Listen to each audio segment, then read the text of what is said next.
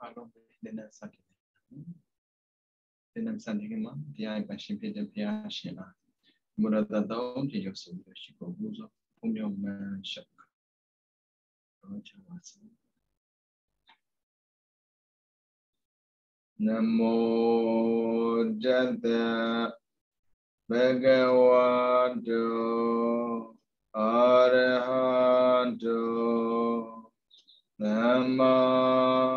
တင်မှာတရားပရှင်ဖြစ်တဲ့ဘုရားရှင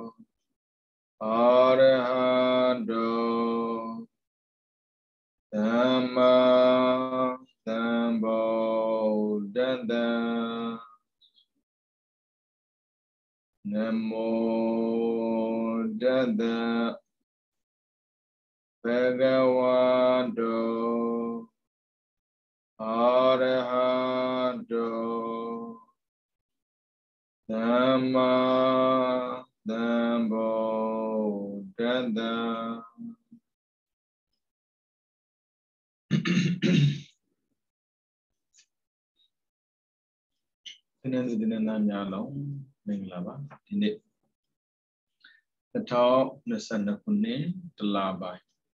ရှေ့ရက်စနေနေ့ဝိသုဒ္ဓိမေပရမရှင်စာအုပ်ဆမနာ438အဲ့ဒီမှာအသက်သတ်မှတ်ချက်မရှိသွားပြီဆင်ခြင်ပုံဆိုတာဟာ430ခွန်အကျဉ်းကိုအကျယ်ပြန်ပြောပြတာပါပဲ430ခွန်မှာအသက်နဲ့ပတ်သက်ပြီးသတ်မှတ်ချက်မရှိတဲ့တရား5မျိုးအသက်ဟာတမန်ခြင်းမရှိဘူးတရားမဲ့အနာယောဂ တမန်ခြင်းမရှိဘူးတရားမဲ့ကာလအချိန်တမန်ခြင်းမရှိဘူးပြီးတော့သေပြီးခန္ဓာကိုယ်ခြားရသင်္ချံကုန်တမန်ခြင်းမရှိဘူးပြီးတော့သေပြီးတဲ့နောက်ရောက်မဲ့ဘဝကိုမသိနိုင်ဘူးဆိုတဲ့အကျင့်၅ချက်ကိုအရင်တစ်ပတ်ကပြောခဲ့တယ်ပြောမှာပေါ့နော်အခုဒီတစ်ပတ်မို့စလို့အဲ့ဒီအကျင့်၅ချက်ကိုအကျယ်ပြောပြမှာဒီအသက်သတ်မှတ်ချက်မရှိသွားပြီဆင်ခြင်ဖို့ဆိုတာအသက်ဟာဒီလောက်ပဲရှင်းနိုင်တယ် ပြီးတော့ဒီမှနောက်မရှင်းနိုင်လို့အပိုင်းခြားသတ်မှတ်ချက်တိတက်မရှိပါဘူးတဲ့မှန်ပါတယ်တဲ့တရားတွေကကလလရေးကြီးတီကာဇမှာလည်းသိကြပါတယ်တဲ့အဲ့ဒါကြောင့်ဘဝဟာလေတိတ်ပြက်လွယ်တာပဲကလလရေးကြီးဆိုတာကအမြုပ်တော်မဖြစ်သေးဘူးတာတည်ပြဖို့အဝေးကြီးပစ္စည်းညတ်တော်လေအဲ့ဒီမှာကလေးက သိရတယ်လေဗျာဒါဆိုရင်ဘာကြောင့်ဘဝတဲ့ဝင်လာတာလဲပေါ့အိုးကံလေးနည်းနည်းပြီးတော့အထဲဝင်လာကြတာပေါ့ဒါပေမဲ့လေဗတ္တမကခေါ်တဲ့ထောက်ပံ့ပေးနိုင်တဲ့ကံမရှိတော့ခဏလေးပဲနေရပြီသေသွားတဲ့လူတွေရှိတယ်အဲ့ဒါကိုပြကြတာတို့ဘာတို့ညာတို့ဆိုတာကြားဖို့မှာပေါ့နော် အဲ့ဒါကြောင့်သရဝတွေဟာကလလရေးကြီးတီကာစမှာလည်းသိရတယ်အမြုပ်ကာလသာတိကာလတခက်နဲ့ကာလပြီးတော့တလကာလ2လ3လ4လ5လ10လအတွင်းမှာလည်းသိရတယ်မွေးဖွားမွေးဖွားပြီးတဲ့နောက်မှာလည်းသိရတယ်တတန်းတရားအတွင်းတတန်းရာကျော်အတွင်းမှာလည်းသိရတယ်ဒီလိုမျိုးသိရမယ့်အသက်အမှန်ချက်မရှိသောအဖြစ်လည်းပဲသိခြင်းသဘောကိုဆင်ခြင်ပြီးအဖန်ဖန်ထက်တဲ့အောင်မေ့နေနိုင်ပါတယ်တဲ့ဘုရားတို့ အသက်ရှင်နေလို့သာရှင်နေရတာဗျဒါမဲ့သေရမယ့်အသက်ကဘယ်တော့မှသိကုန်မသိဘူးမနေ့ဖန်လားတပည့်ခါလားဒါရက်နဲ့ပြောတာပေါ့နော်နိုင်ဆိုရင်နောက်နိုင်လားနောက်ထပ်နိုင်လားနောက်ထပ်နိုင်လားအော်သေရမယ့်အသက်သတ်မှတ်ချက်လုံးဝမရှိဘူးဘယ်ချိန်မှသိမယ်ပြောတော့ပြောမှာပေါ့နော်အရှင်ဘုရားဒီလိုမျိုး သိနိုင်မဲ့ပုံကိုမရှိဘူးလားရှိတာပေါ့တရားရည်ပြေဝတဲ့ပုံကိုယ်တွေအာနာပါနာကမ္မထကိုနိုင်နိုင်နင်းနင်းနဲ့ကျွမ်းကျွမ်းကျင်ကျင်အားထုတ်ထားတဲ့ပုံကိုယ်တွေတော့သိတာပေါ့တာမန်ပုံကိုယ်ဘယ်လိုသိနိုင်မှာလဲနော်အဲ့ဒါကြောင့်သိတာနဲ့မသိတာမသိတာများကြတယ်အဲ့ကြောင့်တန်ဖိုးထားဖို့လိုတာပေါ့လေအဲ့ကြောင့်သူကသိခြင်းတဲ့ဘုတ်ဆင်ခြင်းပြီးတော့အဖန်ဖန်တက်အောင်းမေဆင်ခြင်းနေရမယ် တနည်းအားဖြင့်ပြောမယ်ဆိုတော့မဟုတ်တာတွေးနေမဲ့စာမဟုတ်တာကိုလုပ်နေမဲ့စာမမဟုတ်တာကိုပြောနေမဲ့စာဟုတ်တာကိုလုပ်နေဟုတ်တာကိုပြောနေဟုတ်တာတွေးနေဘာဖြစ်ဆိုတော့ပြောနေရင်တည်သွားရင်ကုသိုလ်မလိုပဲနေမှာပေါ့ရှင်ပြရဲ့ကုသိုလ်တော်တော်တန်ဖိုးရှိနေလို့လားဟုတ်တယ်ဗျစားနိုင်တောင်းနိုင် သုံးနိုင်ဖြုံးနိုင်တဲ့အချိန်တုန်းကအဲ့ဒီပစ္စည်းတွေကတန်ဖိုးမရှိလို့ထင်ရတယ်တကယ်တကယ်မစားနိုင်တော့ဘူးမသွားနိုင်တော့ဘူးမလာနိုင်တော့ဘူးဆိုတဲ့အချိန်ဒီမှာအဲ့ဒါတော်တော်တန်ဖိုးရှိတယ်ဆိုတော့ကိုယ်စင်တော့သုံးနေရတဲ့ပစ္စည်းတွေပေါ်နေတာကိုပေါ်နေတော့လေတန်ဖိုးမရှိသလိုပဲရော့အင်းရော့အင်းရော့အင်းနဲ့တန်ဖိုးလုံးဝမထားဘူးတကယ်တကယ်သုံးစရာလုံးဝမရှိတော့ဘူးဆိုတဲ့အချိန်မှာအရာရာတန်ဖိုးရှိလာတယ် အခုဆိုရင်ရေတန်းမှာတောက်မယ်ဆိုတဲ့လူတွေလောကမှာပေါ်လာတာလေရေတန်းရှိနေလို့ရေတန်းတောက်မယ်ပြောတာပေါ့တကယ်တကယ်ခက်ခဲတဲ့ကာလရောက်လာပြီဆိုရင်ရေတန်းမှမဟုတ်ဘူးဘာမယ်ဆိုတောက်မှာဘာဖြစ်လို့တန်ဖိုးရှိလုံးလို့ဦးဇင်းတော်ကအဲ့ဒါကိုပြီးတော့တရားကိုကြိုက်တဲ့နေရာရှာ ကြားနိုင်တယ်သိနိုင်တယ်ဆိုတဲ့အခြေအနေရှိနေတာကို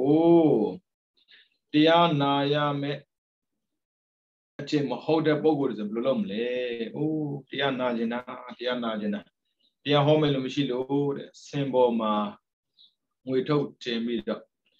တရားတခွန်ဟောရင်တထောင်ပေးမယ်အသက်ပြတထောင်ပေးမယ်တခွန်ပဲဟောရှင်ပြရဲ့အဲ့လောက်ခက်ခဲလို့လားခက်ခဲတာပေါ့ရွှေငွေဆိုတာ မြေနဲ့လူရှိရင်ရွှေငွေရရှိကိုရှိတယ်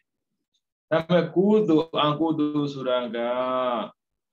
သစ္စာတရားကိုဟောသူမရှိသေးတဲ့၍မသိနိုင်ဘူး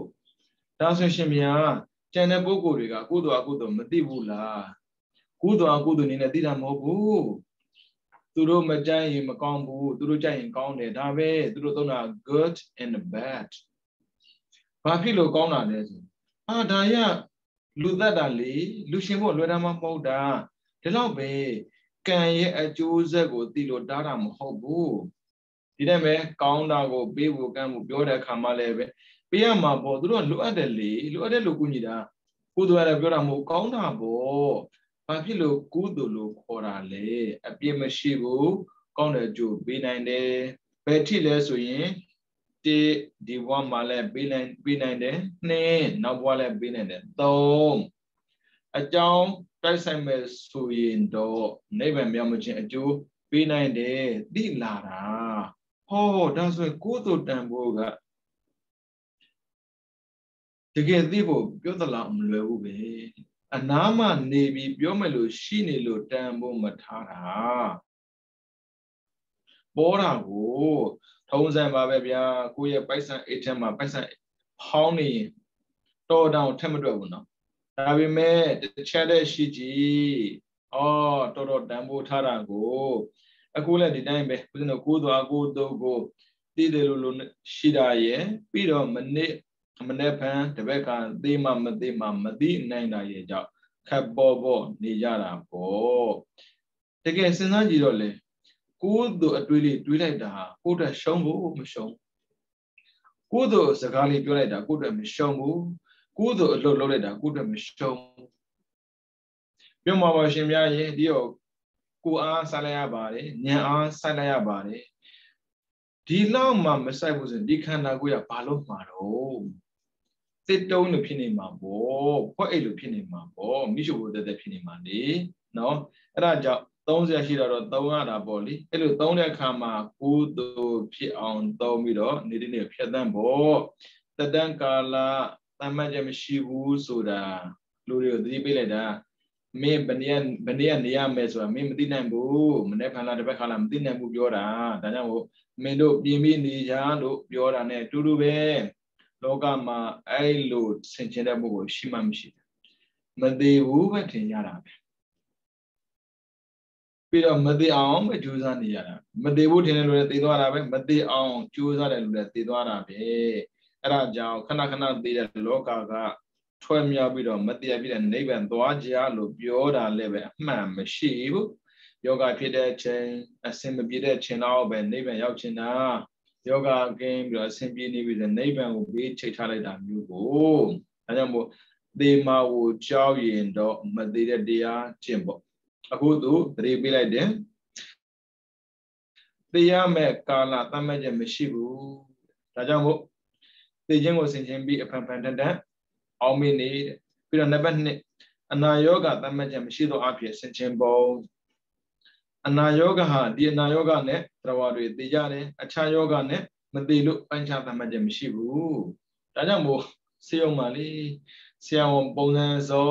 အာနှလုံးထူးကိုအသေးထူးကိုဘာထူးကိုညာထူးကိုရှောက်ရှက်ခန့်နေရပဲအဲ့ဒါတွေကလူတွေမှာဖြစ်တဲ့ယောဂမတူလို့ပေါ့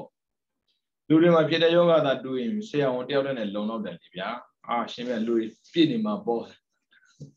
နော်ယောဂလေတယောက်နဲ့တယောက်မတူဘူးမတူတဲ့အပြင်အဲ့ဒီယောဂနဲ့သိမယ်ဆိုတတ်မှတ်ချက်မရှိဘူးဒီယောဂရှိပေမဲ့သိခြင်းမှလည်းသိသိတာမျိုးနော်အဲကြောင့်ဘာယောဂနဲ့သိမယ်ဆိုတာ တတ်မှတ်ချက်မရှိဘူးမှန်ပါတယ်သရဝတွေသိဆုံးတဲ့နေရာမှာမျက်စိယောဂကြောင့်လည်းသိရတယ်နာယောဂကြောင့်လည်းသိရတယ်နာယောဂမျိုးမျိုးရှိရတမျိုးမျိုးသောအနာယောဂနဲ့သိဆုံးကြတယ်ဒီလိုမျိုးသိရမယ့်အနာယောဂတမန်ချက်အမြဲမရှိသောအဖြစ်လည်းပဲသိခြင်းသဘောကိုဆင်ခြင်ပြီးတော့အဖန်ဖန်ထက်ထက်အောင်မိဆင်ခြင်နေပါဘာယောဂနဲ့သိနိုင်တယ်ဆိုတာဘယ်သူမှသိမှမသိတာဘူးဒါပေမဲ့တခုကနဲ့တော့ သိနိုင်တာပေါ့နော်ဒါဆိုရင်မသိတာတခုမှမရှိတာပဲရှင်ပြားတော်ကသိတိုင်းပဲသွားကြည့်နေတာပြောမှာပေါ့နော်သေတာကြီးပဲကြည့်ကျင်တာမဟုတ်ဘူးမသေးတာကိုကြည့်ကျင်တာခက်တာမသေးတာကိုကြည့်ဖို့ကနိဗ္ဗာန်မှာပဲရှိတာကိုကမသေးတဲ့မသေးတာကိုကြည့်ဖို့နိဗ္ဗာန်မြောက်သေးတဲ့ပုဂ္ဂိုလ်ဆိုတွေးသိမြအရာအလုံးသိမဲ့အရာတွေကြည့်ပဲသိပမာရှိတဲ့သိရွယ်လေးတွေပေါ့နော်ဘယ်ကြွေချင်းကြွေစီခြင်းပါမလဲ ဒါပေမဲ့ဗျာလေတိုင်းလို့လည်းကြွေတာပဲပြီးရင်အချိန်တန်းလို့ကြွေတာပဲလူခုလည်းကြွေတာပဲမင်းကကြွေတိုင်းပဲပြောနေတာကိုဝေတာလည်းကြည့်အောင်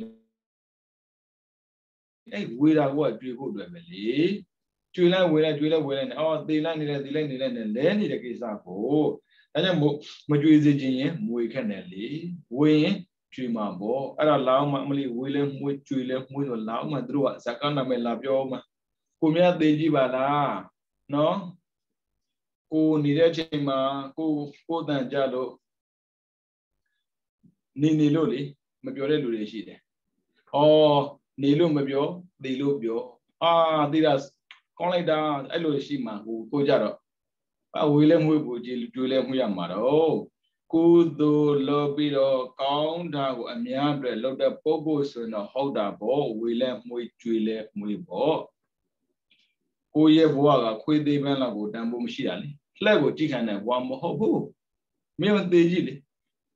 ချစ်ပါတယ်ဆိုတဲ့ပုံကိုဘယ်နှယောက်လာပို့မယ်ထင်လို့လဲဟွန်းလှဲ့တော်ကြည့်မှာမဟုတ်ရစရာမရှိလေလေကြီးမဲ့လို့နဲလေးလေးပဲเนาะအဲကြောင့် view ဆက်ဖို့တော့လိုတာပေါ့ဗျာဟုတ်ပြီနံပါတ်3ကာလတမန်ချက်မရှိသောအဖြစ်ဆင်ခြင်ပုံတရဝတွေသိရမယ့်အချိန်ကာလဟာ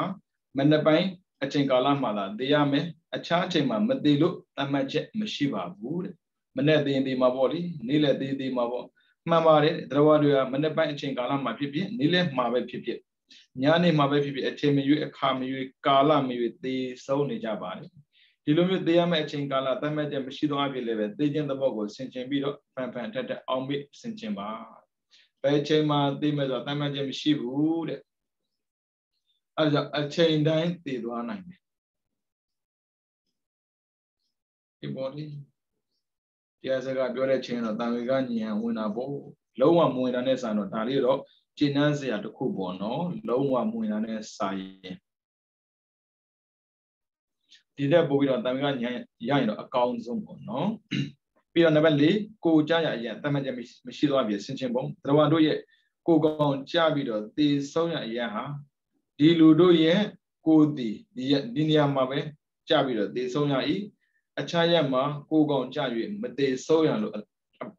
အပိုင်ကြမရှိဘူးတတ်မှတ်ချက်မရှိဘူးဒီမှာပဲတရားမယ်တခြားမှာမတရားဘူးတတ်မှတ်ချက်မရှိဘူးတခြားကုန်ပေါ့ဗျ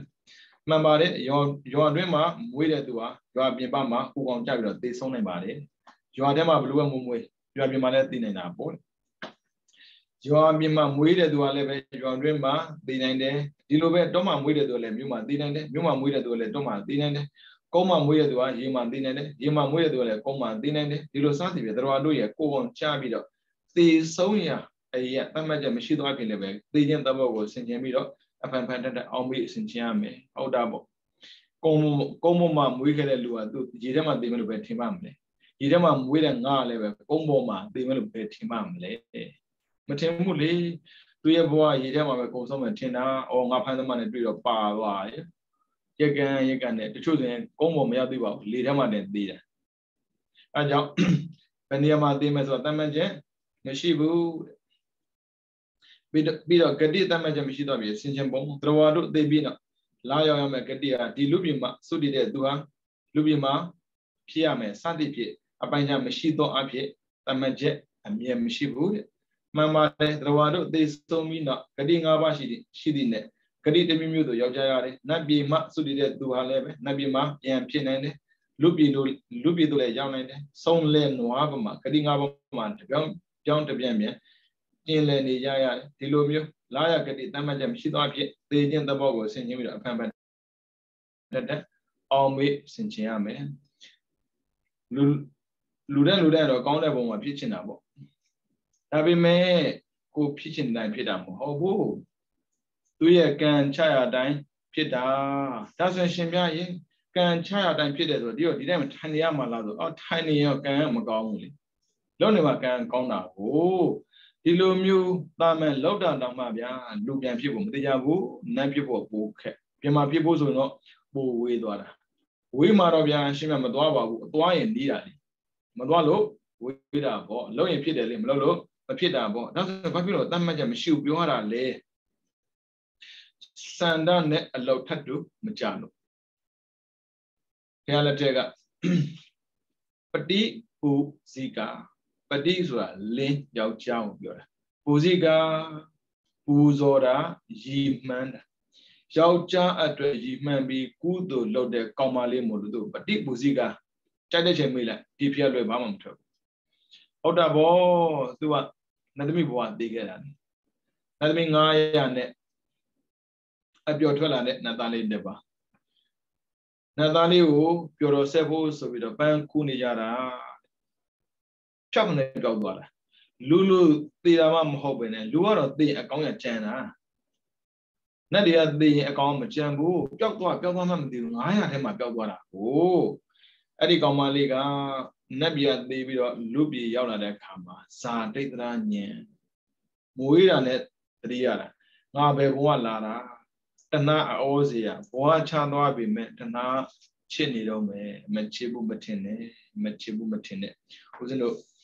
ကိုရွေးမဟုတ်ပေမဲ့လေအနားမှာနေတဲ့သူရဲ့ကိုရွေးတွေရှိတယ်ဘဝချသွားပြီမဲ့မရဘူးနော်အနားမှာပဲရှိစေခြင်းတယ် ဘလောက်ပဲမြည်ရွယ်ဖြစ်နေပါစေယောက်ျားလိုပဲထင်တယ်တဏှာတော့ဗျာမရှိတာအကောင်းဆုံးပဲဘလောက်ပင်မှန်းလဲဆိုမှန်းကြည့်ရတာပေါ့နော်ခက်တာအဲ့ဒီနေရာမှာကိုကမနေဘူးတော့ကိုချင်းမစားတတ်ဘူးပေါ့အာအနာပဲခေါ်ခြင်းနဲ့အတန်ပဲကြားခြင်းနဲ့အတန်ကြားရင်ကျင်းတတ်တယ်အော်ခန္ဓာကိုယ်ကြည့်လိုက်အောင်ဘဝကြည့်လိုက်အောင်ခန္ဓာကိုယ်ကလည်းတအားကွာနေပြီတယောက်ကမြည်တယောက်ကအဖွာဘဝကြည့်လိုက်မယ်ဆိုလည်းပဲဘဝက လူဖြစ်တာတူပေမဲ့လို့ဘဝချားတယ်လို့ဖြစ်နေတာဒါပေမဲ့ဗျာတဏှာတန်းတာရာဖြစ်နေတာကိုဗျအမလေးမြင်တဲ့အချိန်တိုင်းမှာမြည်လို့မမြင်ဘူးယောက်ျားလို့မြင်နေတာမျိုးကြားချင်တာအချိန်တိုင်းချင်းတိုင်းအမလေးကိုကသာလေးမသိလို့ကိုချင်းမစားတယ်လို့ဖြစ်နေတာပေါ့အဲကြောင့်ပြောခံတာမျိုးပေါ့နော်ရှင်ပြတော့ကိုချင်းမှမစားတာနောက်ဆုံးတော့ပုတ်ပြလိုက်ရတာပေါ့လေအဲ့ဒါနဲ့ဗျာ အဲ့ဒီကောင်မလေးကတိတက်တဲ့အရွယ်ကစာယူသွားမှတ်မိနေတာကိုအဲ့ဒီနန္တာလဲသူတို့တော်တော် queue site ပုံရပါတယ်ဒါလည်းဟုတ်တယ်လေချစ်ချင်းမေတ္တာတွေတဏှာတွေဖြစ်တယ်ဆိုတာကလည်းစွဲเสียရှိမှစွဲတာကိုစွဲစရာမရှိရင်ပဲစွဲပါမလဲအဲ့ဒါနဲ့သူကုသိုလ်လို့တတ်တဲ့ရွယ်ကစတော့ကုသိုလ်လုပ်တာနင့်ဘာကြောင့်ကုသိုလ်လုပ်တာလဲလို့မေးတဲ့အခါတိုင်းမှာသူကဖြစ်တစ်ခုပေးတယ် နတ်ပြည်ကိုရောက်ချင်လို့ဌာနတခုတည်းကိုလိုမဟုတ်ဘူးအပယ်လေးပါကတော့ရပြည့်ပဲရတော့ဟာနဲတာမဟုတ်ဟဟောတာလည်းမဟုတ်ဘူးပါလိုက်သေးတဲ့နိဗ္ဗာန်ပါလောက်တဲ့လို့တခုမှနိဗ္ဗာန်ရောက်စရာအကြောင်းမရှိဘူးတွေးကြရလေဆန္ဒအဲ့လိုရှောက်လို့လို့မရဘူးဆန္ဒတစ်ခုတည်းအာယုံဆိုင်ရတယ်အဓိပတိမှာဆန္ဒပါတာကိုကျွန်တော်မျိုးတော့မဟုတ်ဘူးတွေးကြရဘာပဲရရရတယ်ဘာလာလာတောင်းတယ်ဆိုအဲ့ဒါဖဲမှာပဲဂျူ ကတော့လို့ရတာဘောကမအဲ့လိုမဟုတ်ဘူးအေးဘောဂျူနဲ့ကာရမပြုတ်တာဘူးနွားလိုကျွဲလို့အဲ့လိုရှောက်လို့လို့မရဘူးလေသူကတော့ရှင်းတယ်ဗျာဒါနာကိုပုံသေးလို့တယ်သေနာကိုမြောင်ထူတာတယ်သူသိနေတယ်ကိုးသူကံရှိမှဒီနေရာကိုရမှာအဲ့ဒါတော့လေလူဘောမှာယောက်ျားရသေးတယ်ကလေးတွေမွေးသေးတယ်ယောက်ျားရချင်းကလေးမွေးချင်းသူကိစ္စမဟုတ်ဘူးဒါဘဝကိစ္စအများလို့လို့သူလောရတာဒါပေမဲ့သူရဲ့စိတ်ထဲမှာတော့ ဒါမဟုတ်ဘူးဒီလိုနဲ့လွတ်လွတ်နဲ့အသက်တရားလောက်နေပြီတည်သွားတယ်ဒါပေမဲ့အသက်တရားနေပြီတည်သွားရှင်မရောက်မဲ့ဘဝမသိနိုင်ဘူးဆိုတော့မှန်တယ်လေဖြစ်တယ်လို့နေမသိဘူးဖြစ်အောင်နေရင်သိတယ်လေသူကသိတဲ့ရွယ်ကလေးကနေတော့ကိုယ်တို့လုံရင်ဒီနေ့ရောက်မဲ့သိတော့တွက်ကြည့်ဘောနှစ်5 60ဒီကုသိုလ်ပဲလုပ်တယ်ဒီဆန္ဒပဲမွေးတယ်ပြန်သွားဖြစ်တာနှစ်ပြည်မှာ ရုပ်တရက်ရောက်ရောက်လာတော့အော်တာဗောဟာနင့်ဘယ်သွားနေတော့ငါလူပြည်ရောက်သွားတာအလဲသွားတာလားတော့မဟုတ်သေသွားတာဟာနင့်ဘယ်လောက်ကြာကြာနေခဲ့လဲဆိုနှစ်တရာနေခဲ့တယ်နှစ်တရာသာပြောခဏပါလားမှန်တာဗောပျော်နေတဲ့လူတယောက်နဲ့ပြတ်သွားတဲ့လူသူမှမလို့တာပျော်တဲ့လူကတော့ပျော်လို့မပြီးသေးဘူးဟေးအချိန်စိတ်ပြီးပြောခဏလောက်ပြီးလို့မရဘူးလား9မိနစ်လောက်တောင်းတာပဲဘာလို့ तू ပျော်နေတော့အချိန်ကုန်မှမသိဘူးလေ အဲ့ဒါမျိုးဒါဆိုရင်ကိုယ့်ရဲ့စန္ဒတာရောက်နေတဲ့ရောက်နိုင်တဲ့ပုံမရှိဘူးလားရှိတယ်ပရမဇန်ရရင်ပရမဇန်ပုံရောက်မှာပေါ့ရောက်ချင်းတယ်ဆိုတဲ့စကားနဲ့မလုံလောက်ဘူးရောက်အောင်ကြိုးစားရတယ်အဲကြောင့်စန္ဒရှုနေမရောက်မရောက်နောက်ကဝိရိယလိုက်တာလေဒါနဲ့မပြီးသေးဘူးစိတ်ခိုင်မာရတယ်လေကိုကနေပြီးတော့ နှက်ဖြစ်ခြင်းနဲ့နှက်ဖြစ်ခြင်းနဲ့နှက်ဖြစ်ခြင်းနဲ့ဆိုရယ်ဆန္ဒရှိပြီမဲ့လို့နှက်မကောင်းကြောင်းကြားတာမြင်အေးမကောင်းတော့ပါဘူးလေဖြစ်သွားမှာအာမရဘူးအဲ့လိုอ่ะဒါအဓိပတိတတ်တာမဟုတ်ဘူးအဓိပတိတတ်တဲ့စိတ်နဲ့ဆိုရင်တော့ရောက်ချင်တဲ့နေရာရောက်တာပေါ့လေကိုမှတော့မရှိပါဘူးအဓိပတိ၄ပါးရှိတယ်ဆိုတာပဋ္ဌာန်းထဲမှာရှိလို့သာကြားဖို့တာပဲရှိတာခိုင်မာတဲ့ စန္ဒာတွေကိုမှမရှိဘူးခိုင်မာတဲ့ဝိရိယမရှိဘူးခိုင်မာတဲ့ဝိရိယဆိုတာဒါကလွယ်ပြီးဘာမှမလိုချင်ဘူးဒါရအောင်လုပ်မယ်ဆိုတဲ့စိတ်မျိုးကြိုးစားမှုမျိုးဥစ္စာမှမရှိဘူးတွေ့ကြရကုသိုလ်လုပ်ပြီးဆိုတဲ့ဒီတိုင်းပဲဆရာတော်ဟောကောင်းတာနဲ့တော့တွေ့ရင်ဒါလေးဖြစ်ချင်းပြန်ရောအာနောက်တစ်ပါးဟောကောင်းတဲ့တွေ့ရင်ဒါဒါလေးဖြစ်ချင်းပြန်ရောအဲ့လိုဖြစ်ချင်းဖြစ်ချင်းဖြစ်ချင်းတာ ਨੇ ဘာဖြစ်ချင်းမှမသိတော့အဲ့ဒါဘယ်ရောက်မှလဲဘယ်သိတော့မလဲနော်ဘဝနဲ့ပတ်သက်ပြီး ရခြင်းရရတတ်တယ်အဲကြောင့်ယူဆိုင်ကြပေါ့အဲ့မှာရေကတဲ့မာလေးဆိုရင်လည်းဒီတိုင်းပဲလေဘယ်ကလာမသိဘယ်ကိုသွားမသိမသိဘူးလားသိတယ်သိသလားမသိဘူးဆိုတဲ့စကားလို့ပေါ့ဘယ်ဘဝလာမှလည်းမသိဘူးဘယ်ဘုံကိုရောက်မယ်ဆိုတာလည်းမသိနိုင်ဘူးသိမယ်ဆိုတာသိပေမဲ့ဘယ်ချိန်မှသိမယ်ဆိုတာမသိနိုင်ဘူးဆိုတဲ့စကားအတိုင်းပေါ့နော်ဒါဆိုရင်ဘဝရတဲ့ပုံကိုယ်ဒီပုံစံသွားရင်ကိုကရောပါမှုလို့ပဲ ကိုလည်းဘဝသမားပဲလေအစင်မပြေတဲ့ချိန်မှာငါတော့ဘဝသမားပါလေလို့တော့ပြောလို့မရဘူးဘဝရတဲ့လူတိုင်းဘယ်ကလာမှမသိသလိုဘယ်ကိုသွားမှဆိုမသိဘူးဒါပေမဲ့သိရမှာတော့သိမယ်ဆိုသိရမှာဘယ်ချိန်သိမယ်ဆိုမသိတဲ့အတွက်ကြိုတင်ပြင်ရတာပေါ့ဘယ်ချိန်သွားမယ်ဆိုတော့သိရင်ကြိုတင်ပြင်စရာမလိုလေနေ့မှပြင်နေရတာပဲပေါ့အခုကဘာမှမသိတဲ့အခြေအနေဆိုတော့ကြိုတင်ပြင်ရတာမျိုးเนาะ ပြီးတော့နံပါတ်9တတန်းကာလပိုင်းခြားပြီးဆင်ခြင်ပုံအခုအခါလူတွေရဲ့တတန်းကာလအလွန်တူတောင်းလှတယ်အသက်ရှိတဲ့သူတောင်မှနှစ်တရာနှစ်တရာတဲ့အနည်းငယ်ပုံလုံးပြည့်နေနေတာတဲ့ဒါကြောင့်ဒါကြောင့်မြတ်စွာဘုရားရှင်ကနေပြီးတော့ယဟန်တို့လူတို့ရဲ့အသက်ဟာနဲစွာတူတောင်းစွာနောင်တမလွန်လောကသို့မကြမီပဲသွားရခြေတော့မယ်အခုပဲမွေးတယ်မနေ့ပဲမသွားမယ်ဆိုတာမျိုးဖះလောင်လေးမွေးတဲ့ကာလမှာ နတ်တွေပြမတွေပျော်ကြတာအဲ့မှာမန္တာရဝပန်းတဲ့မန္တာရဝပန်းကိုသူတို့ကသိနေကြတာဒီကလေးကတောထွယ်ပြီးဘုရားဖြစ်မယ်ဆိုတော့သိလို့ဘုရားပြင်ပူဇော်ဖို့တဲ့ပန်းသိတယ်ဟာလောက်ကကြီးလှုပ်ပြီးတော့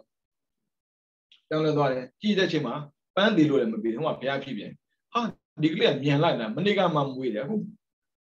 ရားဖြစ်သွားပြန်ပြီ ဒီလိုနဲ့ပဲလှူမဲ့အချိန်ကိုစောင်းရင်စောင်းရင်စောင်းရင်နဲ့နောက်ထပ်ထပ်လုပ်တဲ့ချိန်ကြည့်လိုက်တော့သေးနေပြီဟာမြန်လိုက်လားနောက်ဆုံးအဲ့မန္တာရဝပန်းကိုနတ်တွေကတီးဖို့အချိန်မရှိတော့ဘူးဒီလိုသာဆက်တည်နေဆိုတော့နောက်ထပ်ဖျားပွင့်သွားလိမ့်မယ်အသက်ရှိတာကိုအဲ့ဒါနဲ့ပန်းကိုလာလှူရတာမျိုးဒါကြောင့်လူရဲ့အသက်ကသိမြန်တာပဲဥစဉ်တို့အခုဒီ2021 ကာလအတွင်းမှာပေါ့နော်ကိုယ်နဲ့ရင်းနှီးပါတယ်ဆိုတဲ့တကားတွေတောင်းမှလောကမှာမရှိတော့ဘူးဒီနေ့ကသိန်တကားသိန်သိန်မိုက်ပဲပြောမှာပေါ့နော်သိန်တကားရဲ့အမျိုးသမီးဥစဉ်ဒီလောက်အောင်မှနေတဲ့ကာလတော့မှာသူနှစ်နှစ်ခွဲလောက်တည်သူကဆုံးကတ်ခဲ့တာကိုသူတို့ကရန်ကုန်ကနေပြီးတော့အသက်ကြီးလာတဲ့အခါမှာမန်းလေးပြောင်းဝင်နေတယ်မန်းလေး ကျုံပေးမှလမ်းရှောင်းရင်းနဲ့မောတယ်ဆိုတော့ထားလိုက်တာအသက်ပါသွားတာဟုတ်အဲဆိုတော့သူတို့နေခဲ့တာကရန်ကုန်မှာနေခဲ့တယ်ဆိုတော့တကားကြီးဆင်းလာပြီးတော့ရန်ကုန်မှာကုသိုလ်လာလုပ်တယ်။ကျောင်းမှာတော့မဟုတ်ပါဘူးသူအိမ်မှာပဲပေါ့။အဲ့ဒီအိမ်သွားပြီးတော့ဦးဇင်းတို့အမြဝေရတာပေါ့လေ။အမြဝေတဲ့အချိန်မှာရော အမြမဝေတဲ့အချိန်မှာရောသူရဲ့သွားလာလှုပ်ရှားတဲ့ အရေးမြင်တာပြောတာမဟုတ်ဘူးနော်။စိတ်ထဲမှာထင်နေတာပြောတာ။ပြုံပြုံပြုံပြုံနဲ့ဆုံးကတ်တာတွေထိုင်တဲ့နေရာတွေဩမနေကလိုပဲတကယ်ကိုမနေကလိုပဲဘာမှကြာတာမဟုတ်ဘူးတော်တော်လေးရင်းနှီးတာကိုဒါကတအုပ်တရားကိုထုတ်ပြတာပေါ့နော်ဒီလိုပဲကျောင်းတကားတွေထဲမှာဆိုနေတော်တော်များပါသွားတာပဲဘယ်ရောက်မယ်ဆိုတာလည်းမသိတယ်လို့ဘယ်ကလာဆိုဆိုတော့မသိခဲ့ဘူး ပြီးတော့ဘယ်နေ့မှသိမယ်ဆိုမသိတယ်လို့ဘာရောက်မှလည်းသိမယ်ဆိုဥစဉ်တော့မသိဘူးဒါဥစဉ်တို့တွေးကြုံတဲ့ကာလမှာပြောဆိုဆက်ဆံပေါင်းသိမ်းလိုက်ရတာပဲဒါမဲ့မြန်လိုက်တာအချိန်ကကိုကမသိပဲကြံလို့သာနေတဲ့ထင်တာအဲ့မပြန်တွဲကြည့်တော့လေဟာမြင်လိုက်တာလို့အဲ့ဒီဒကမိုင်းနဲ့ဦးဇင်းတို့သူတို့ပြင်ထားလို့ပေါ့နော်သူကလောင်မနေဖို့ပြင်နေဆိုတော့2009ကပြင်ထားတာ ဆက်စုနဲ့တစုစာပေါ့နော်သူတို့နဲ့ရင်းနှီးနေနေခဲ့တာဒါပေမဲ့ဗျာဘာပဲပြောပြောသူတို့နေခဲ့တာရယ်ပြီးတော့တောင်ယူခဲ့တာရယ်ရှိတော့မျက်စိမိတ်လည်းပဲဘယ်နေရာမှာထိုင်တယ်အာဘယ်လိုပြောတယ်မြင်နေတာပဲအဲအမျှဝေးရတာလည်းပိုဆင်ပြေတာပေါ့နော်ဒါပေမဲ့အမျှဝေးတာပိုဆင်ပြေတယ်ဆိုတာလည်းသူဘယ်ရောက်မှတော့မသိဘူးပေါ့နော်မှန်းပို့ရတာပေါ့မှန်းပြီးတော့ဝေးရတာပေါ့လေမြင်တယ်ဆိုတာကိုပြောပြတာ ပါနော်အဲကြောင့်တမန်တော်လောကဆိုမကြမိပင်သွားရချေတော့မယ်ကုသိုလ်ကိုပြုသင့်တယ်ကောင်းတာကိုလှုပ်ထားသင့်တယ်ဘာဖြစ်လို့ကောင်းတာနဲ့ကုသိုလ်ကိုခွဲတာလဲဆိုတော့လူတွေကြိုက်တာကိုလူတွေကကောင်းတယ်လို့သတ်မှတ်တာဟုတ်ကုသိုလ်ကြတာမဟုတ်ဘူးကံကြိုက်တာကိုကုသိုလ်လို့ပြောတာကံမကြိုက်တာကအကုသိုလ်ဒါဆိုရင်အကုသိုလ်ကြတာဘယ်သူကြိုက်တာတော့အဝိဇ္ဇာကြိုက်တာလေအဝိဇ္ဇာကအကုသိုလ်ကြိုက်တယ်သူကအမှောင်သမား ဒါဆိုရှင်ကုသိုလ်ကြဘယ်သူကြိုက်တာတဏှာကြိုက်တာသူကဘဝသမားဘဝကိုဖန်တီးနေတယ်အကောင်းလေးတွေဖန်တီးတာကိုအဲကြောင့်ကုသိုလ်ပြုသင့်တယ်ဒါဆိုရှင်ပြရင်ကုသိုလ်လုပ်လဲလုပ်တော့လဲတဏှာပါနေမှတော့ဒီတော့ဘာလို့မှလဲအဲ့ဒီတခုတော့ရှိတယ်လေအရတမရအောင်လုပ်တယ်အရတမရပြီဆိုတော့ကုသိုလ်ရောအကုသိုလ်ရောကင်းသွားတာကိုဘာဖြစ်လို့ကုသိုလ်လုပ်တာလဲဆိုတော့အကုသိုလ်ရှိနေလို့ဘာဖြစ်လို့အာလောဘပေးကမ်းရတာလဲဆိုတော့လောဘ ကစီနေတဲ့စိတ်တွေရှိနေလို့ဘာဖြစ်လို့အာဒေါသမေတ္တာပွားတယ်ဆိုတော့ဒေါသမကြည်တဲ့စိတ်တွေဖြစ်လာမှာဆိုလို့ဒီနဲ့ပဲဘာဖြစ်လို့အမောဟသိအောင်လုပ်ရတာလဲဆိုရင်မောဟမသိတာတွေများနေလို့လူတွေကကိုယ်တို့ဘာကြောင့်လုပ်တယ်ဆိုတော့မသိဘူးလူချင်းလို့လုပ်တယ်ပဲထင်တာမဟုတ်ဘူးကောင်းတာမလုပ်ပြီးမိမိဘနဲ့မကောင်းတာတွေစူးထားမိမှဆိုတော့လုပ်ရတာကိုအဲကြောင့်ကုသိုလ်ကလုပ်သင့်တယ် ဦးဇင်းတို့ဆိုတော့လုံးဝမပြောမှာပေါ့လေဖေကကြောလုပ်သင့်တယ်လို့ပြောတာဘာဖြစ်လို့လဲလူကလုပ်ချင်မှလုပ်မှာလုံးဝမယ်လို့ပြောရင်အော်မင်းဖေကပြောထားမလားလုပ်ပါလို့ပြောတာဖေကအာနာရှင်ဆန်သွားမှာမဟုတ်ဘူးဖေကအာနာရှင်ဟုတ်ကုန်ပေါ့ပညာရှင်သိတဲ့ဟုတ်ပြီနော်မြတ်သောအကျင့်ကိုကျင့်သိအပေါ်တက်လာတယ်ရိုးရိုးကုသိုလ်နဲ့မလုပ်နဲ့ဒါနင်စာဓမ္မစရိယံစာဒါနလောက်တာလဲလုပ်ဖို့ဓမ္မစရိယ ကောင်းမွန်မှန်ကန်တဲ့အကျင့်ကိုလည်းကျင့်ဖို့ဒီတက်ပုံမြင့်ဆိုဗြမစရိယာမြင့်မြတ်တဲ့အကျင့်ကိုလည်းကျင့်ကြအောင်ဗြဟ္မစရိယနဲ့အဗြဟ္မစရိယဘာကွာလဲပေါ့နော်ဗြဟ္မစရိယကြတော့အာယုံကိုဖယ်ရှားရတာအဗြဟ္မစရိယအာယုံဖယ်ရှားစရာမလိုဘူးတခြားမကြည့်နဲ့ကာမေတုမိစ္ဆာသရနဲ့အဗြဟ္မစရိယနှစ်ကိုရှင်းကြည့်လိုက်ကာမေတုမိစ္ဆာသရကယောက်ျားယူလို့ယူလို့ရတယ်မိန်းမယူလို့ရတယ်ယောက်ျားနဲ့တူနေလို့ရတယ်မိန်းမနဲ့တူနေလို့ရတယ် have a sex doesn't matter ကိစ္စမရှိဘူးဘာဖြစ်လို့ဆိုသူကအာယုံတွေကိုစုပြီးတော့ခံစားတာကိုဒါဆိုရှင်အပယ်ကြားတော့မှမို့လို့အပယ်ကြားမလို့ပြောတာမဟုတ်ဘူးလေ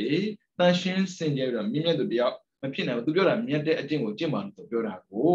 ဒါဆိုရင်ဒါကမြတ်တဲ့အကျင့်မဟုတ်ဘူးလားလို့မေးစရာဖြစ်လာတယ်ငါးပါးသီလလုံတဲ့ပုဂ္ဂိုလ်လုပ်တဲ့အလုပ်ကကုသိုလ်တော့ကုသိုလ်ပဲလေ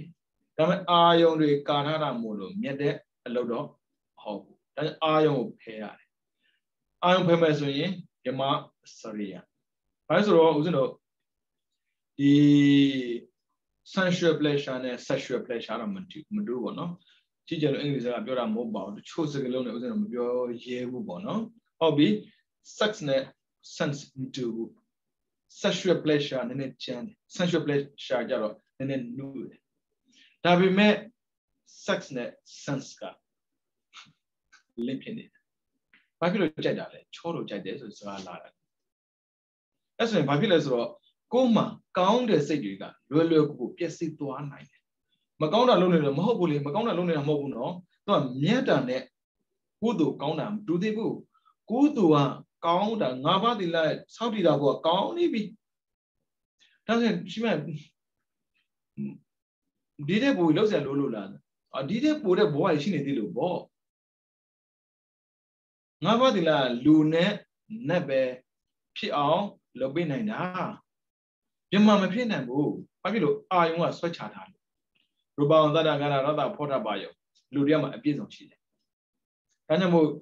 ချစ်စရာကောင်းတယ်ဆိုတဲ့စကားထဲမှာပေါ့နော်ရုပ်ချစ်စရာကောင်းတာလည်းပါတာပဲဒါကြောင့်ရူပယုံပေါ်တယ်ပြီးတော့အတန်ချစ်စရာကောင်းတာလည်းပါတာပဲဒါကြောင့်တော့သတ္တံခေါ်တာပေါ့နော်တချို့ကြတော့ကိုကြိုက်တဲ့အနက်ကိုဖန်တီး ပြီးနိုင်စွမ်းရှိတယ်ရင်မွေးဆိုလည်းကိုကြိုက်တာပဲသူဆွတ်တာလေဒါပဲလို့ဆိုမဟုတ်သေးဘူးကျွေးမွေးတဲ့ခါမှာပေါ့နော်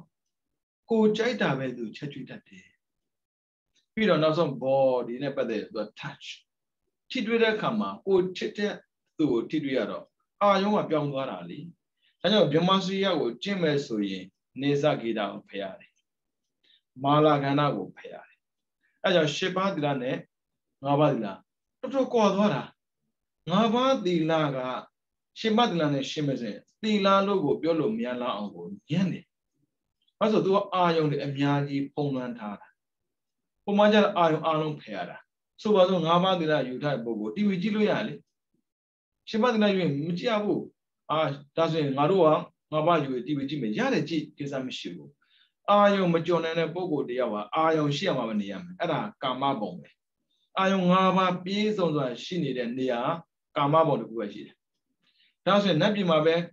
အာယုံရှိတယ်မဟုတ်ဘူးတိရစ္ဆာန်မှာလည်းအာယုံရှိတယ်ရူပသတ္တကရတ္တဖောထဘောင်ရှိတယ်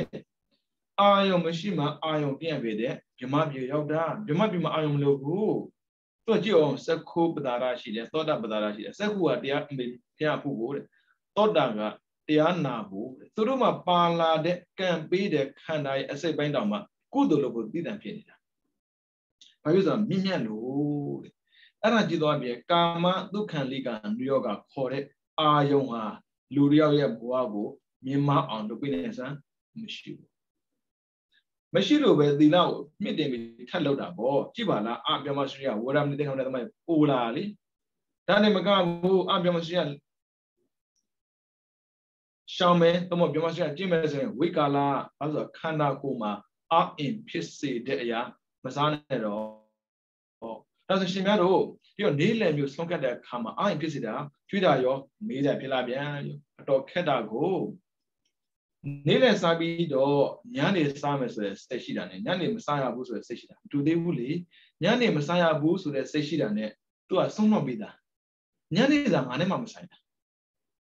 စားမယ်ဆိုရင်စားရတာမစားတာနောက်ထပ်စားရမယ်ဆိုတဲ့ညှို့နှင်းချက်တဏှာရှိနေတာ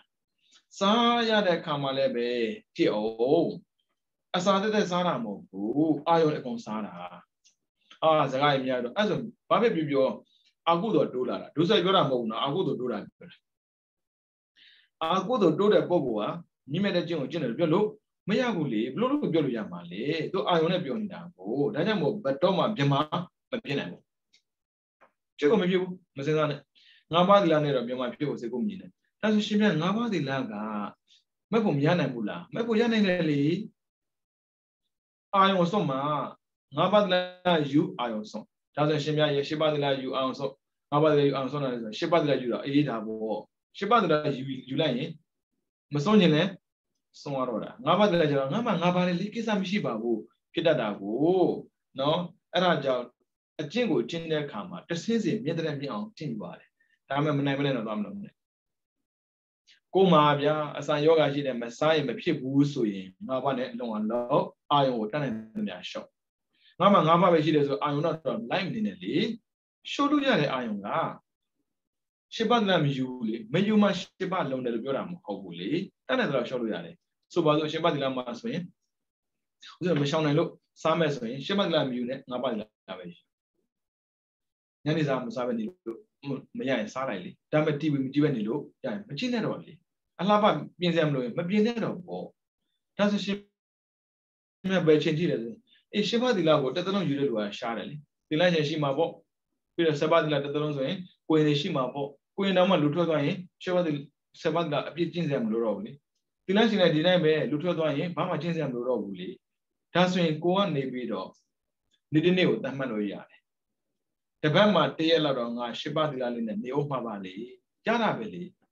မြတ်တဲ့ကျင့်ကိုကျင့်တယ်ဆိုတာအမြဲတမ်းကျင့်တော့အကောင်းဆုံးပေါ့ဒါပေမဲ့နည်းနည်းနည်းနည်းကျင့်လဲလုံလောက်တာပါပဲချက်ချင်းကြီးအောင်တော့မဖြစ်နဲ့မရဘူးအယက်သမားကိုအယက်စွမ်းနေတဲ့အယက်သမားကိုချက်ချင်းအယက်ဖြတ်ခန်းတယ်လို့ဖြစ်တတ်တယ်တဲ့အဲ့ဒါဖြစ်ဖြစ်ချင်း short short short ပေါ့နော်อืมမလုပ်ခွင့်တော့မသိမှာမဟုတ်ပါဘူးမလုပ်ခွင့်သိမှာမဟုတ်ဘူးနော်အဲ့ဒါအာယုံကိုလေအလိုမလိုက်နဲ့အာယုံလိုလိုက်ပြီဆိုရင်ဆန်းရင်လိုပဲ စားလို့တော့တယ်တောက်လို့စားတယ်စားလို့တော့တယ်တောက်လို့စားတယ်ဖြစ်သွားတာအဲ့ short short short ဘုရားဖြတ်ခိုင်းတာမဟုတ်ဘူးအမကြီးပြောတာကကုသိုလ်ပြုသင့်တယ်သူပြောတာလားလုံးချင်မှလုံးမှာပေါ့ဆိုတဲ့လူကရှိသေးတာကိုဟုတ်တယ်မလုံးတဲ့ကိစ္စမရှိဘူးဒါပေမဲ့ကောင်းတာကိုမလုပ်ရင်ကောင်းတာမရဘူးပေါ့ဒီတိုင်းပဲမြတ်တာမလုပ်ရင်မြတ်တဲ့ပုဂ္ဂိုလ်တရားမဖြစ်ဘူးပေါ့ဒါကြောင့်မို့မြတ်တဲ့အကျင့်ကိုကျင့်သင့်အေးသင့်ဆိုတဲ့စကားလုံးသုံးတာပြီးတော့ဘဝအသစ်ဖြစ်ပြီးတဲ့သူရဲ့ မသေးခြင်းမြည်သည်မရှိဘူးဘဝရပြီးရင်မသေးတဲ့လူမရှိဘူးတဲ့ဘဝရရင်တော့ဒီမှာပဲနော်ချစ်သူခင်သူရှိကြတယ်မသေးဘူးမထင်နဲ့ကိုရှိမှပျောက်သွားတဲ့အရာဟာသူရှိမှကိုပျောက်သွားနိုင်တယ်ကိုရှိမှပဲသူတို့ပျောက်မှာမဟုတ်ဘူးသူတို့ရှိမှလည်းကိုပျောက်သွားနိုင်တယ်နော်အဲ့ဒါကြောင့်ချစ်ပါမစွဲပါနဲ့သုံးပါ မစွဲပါနဲ့ပြောတာတခြားကြောင့်မဟုတ်ဘူးခံစားရမှာဆိုလို့ရှင်ပြတော့ကိုချင်းမစားတာကိုချင်းစားလို့ဒီကပြောနေတာငိုသူလည်းမကြည့်ရဘူးနာသူလည်းမကြည့်ရဘူးမှန်တယ်ပြောတာခက်တာလည်းမချောတတ်ဘူးအဲ့ငိုရချိန်မှာဘယ်လိုတော့ချက်မှာပြောမှာအသေးလေးလိုသေးပြီလေငိုလို့ဘာထူးမှာတော့အဲ့တော့ပြောလို့ဆင်ရမပြေဘူးအဲ့ငိုခန်းတာငိုခန်းတာအာကုသိုလ်ကရှေးနေရော သောကအာကုသိုလ်ပဲလေပရိဒေဝအာကုသိုလ်ပဲလေခက်တာကုသိုလ်လုပ်တဲ့ပုဂ္ဂိုလ်တရားကိုရှိမှနေနေအာကုသိုလ်ဖြစ်နေဥစဉ်ထိုင်ကြည့်နေမယ်ဘွာတက္ကမကြီးအာကုသိုလ်ဖြစ်လို့ပြီးပြီလားပြောရင်လည်းရှင်းမြကိုချင်းမစားတရုတ်နဲ့သူနဲ့နေတာ240မကဘူးမဲသူကလားခန္ဓာမှာတဏှာကပ်ပါလာ240စကားလာမပြောနဲ့လေဥစဉ်မှာလည်းတဏှာရှိတာပေါ့ပြန်ပြောလိုက်မှာဓမ္မကြီးဓမ္မရှိတဲ့တဏှာဆိုမြင်တော့မြင်သေးတယ် ရှိကြတာပဲပေါ့ဒါပေမဲ့ခံနိုင်မရှိပဲနဲ့တော့သွားမစားနဲ့တဏှာကြောက်เสียကောင်းတယ်သူ့ကိုကိုကစားလေလေသူကကိုကိုပြန်စားလေလေပဲဒါကြောင့်မို့သွားမရှုံးနဲ့ပေါ့နော်ပြီးတော့ယဟန်တို့အကျဉ်သူသည်ရှေ့စွာအသက်ရှင်နေ၏ထိုသူသည်အနှစ်တရာထက်ပိုလွန်ပြီးတော့အနှဲငယ်တော်လည်းအသက်ရှင်၏ဟုတ်တယ်အသက်ရှိတဲ့ဆိုတဲ့ပုဂ္ဂိုလ်ဟာအလွန်ဆုံးတရားကြော်ကြော်လေးပဲရှိမှာပေါ့တဲ့အသက်ဆိုပါတော့တရားနန်းမှာအသက်ရှိဆုံးကတော့ ရှင်ပါကုလပဲကြာဘူးလားအသက်160အခုထိပေါ့နော်ဦးဇင်းတို့တက်တန်တရှောက်မှာပေါ့ဒီလောကထဲမှာအသက်160နေရတယ်လို့ဦးဇင်းတို့မကြားဘူးလေဒါမဲ့120တော့ရှိမှာဘာကြောင့်ဦးဇင်းရှိမှလို့ပြောတာနော်ဦးဇင်းတို့အမျိုးထက်ကဒီတကာကြီးရဲ့အမောင်ဝဲပေါ့နော်သူကမောင်းမကန်သားနဲ့ရတာ အဲ့ဒီတကာကြီးမှာကအဖေတယောက်ရှိတယ်အဖေတယောက်သားတယောက်ပေါ့သားတည်သွားတာဘယ်တော့မှသိမှမသိအဖေကခုတည်းအသက်ရှိသေးတယ်ဦးဇင်းတို့ဒီအလူလောက်တဲ့ခါမှာကိုယ့်အမျိုးတွေဖိတ်တဲ့ထဲမှာသူလည်းပါတာကိုသူ့အသက်မေးကြည့်တယ်အသက်ဘယ်လောက်လဲဦးဇင်းနာကြာ106လို့ကြာတာသိကြမိမှာ116တေတေ6လမ်းလျှောက်နိုင်သေးတယ်စားနိုင်သေးတယ်သွားနိုင်သေးတယ် တော်တော်လေးမှတ်မိသေးတယ်ပြောရမှာပေါ့နော်ဦးဇင်းဘဝမှာအဲ့ဒီပုဂ္ဂိုလ်အသက်ရှည်ဆုံးတွေ့ဖူးတာပဲ136နှစ်အခုထိသိတယ်ဆိုတော့မကြံသေးဘူးအဲ့ဆိုရင်120လောက်တော့ရှိရောပေါ့အဲ့160တော့ရှိမှာမဟုတ်ဘူးအဲ့တရားထက်လုံးတယ်ဆိုတာအနည်းငယ်ပဲရှိမှာပေါ့အများတော့ပဲရှိပါမယ်နော် 440ယခုကလူတို့ရဲ့အသက်ဟာနဲလာတူတောင်းလှတယ်အသက်ကတူလာပြီတဲ့ဟုတ်တယ်အရင်ကလူတွေကလေအသေးခက်တယ်အခုခေတ်လူရအသေးလွယ်တယ်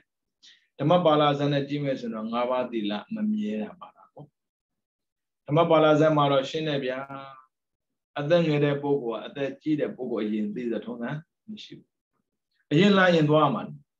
နောက်မှလာရင်သွားစရာအကြောင်းမရှိဘူးထုံးစံမရှိဘူးဒါမှထူးထူးဆန်းဆန်းသူတို့ရွာတွေရွာပဲရှိတယ်သူသူစာသွားတဲ့တက္ကသိုလ်ပြည်လို့ခေါ်တဲ့ပညာတတ်တွေစိုးရတဲ့နေရာမှာတော့မရှိဘူး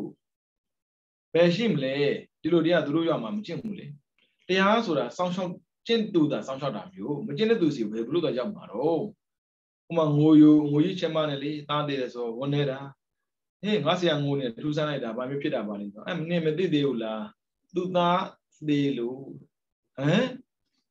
အဖေကမသေးသေးဘူးသားသေးနေပြီထူးဆန်းတာတကယ်အဖေကရင်သေးရမှာကြာရိုက်ရိုက်ပေါက်ကြာရိုက်ပေါက်အဖေသေးရမှာလေဘာဖြစ်သားသေးတာလို့ဆိုတော့အဖေကပဲထသေးရမလို့လို့ဟောမကြည့်ဘူးဟာမေဘာစကားပြောတာတော့အာမှန်တယ်ပြောတာလေမင်းလူတွေသေးတာမတွေ့ဘူးလားသိတယ်လေတွေ့ဘူးတယ်လေ အသက်ကြီးတဲ့လူပဲသေးတာလေငယ်တဲ့လူမသေးဘူးလေဒါငယ်တဲ့လူမသေးတော့ဘူးလားအသက်ကြီးရင်သေးမှလေဒါလည်းဟုတ်တာပဲအသက်ကြီးရင်သေးမှာပေါ့ငယ်နဲ့ကိုကဖေးကမသေးသေးဘူးသာသေးနေပြီဘာတော့ဟာမင်းကလောကသဘောမင်းနားမမနေတာဟောပြန်မပြောတာကံကောင်းခင်ဗျားတဲ့ဓမ္မသဘောကမသိဘူးဓမ္မသဘောကအောစရာကောင်းတယ်ဓမ္မဝေရကတိဓမ္မစာတယ်တရားကျင့်သုံးသူကတရားပြန်စောင့်တာလေတရားမကျင့်ဘယ်လိုစောင့်မှာတော့မင်းတွေ့မယ်မင်းတို့မျိုးစင်လာတော့မရရဲ့တွေ့စရာမလိုအခုကျွန်တော်တွေ့နေပြီသွားတွေ့လို့ရတယ် သွားကြည့်တာပဲလေဓမ္မပါဠိရွာ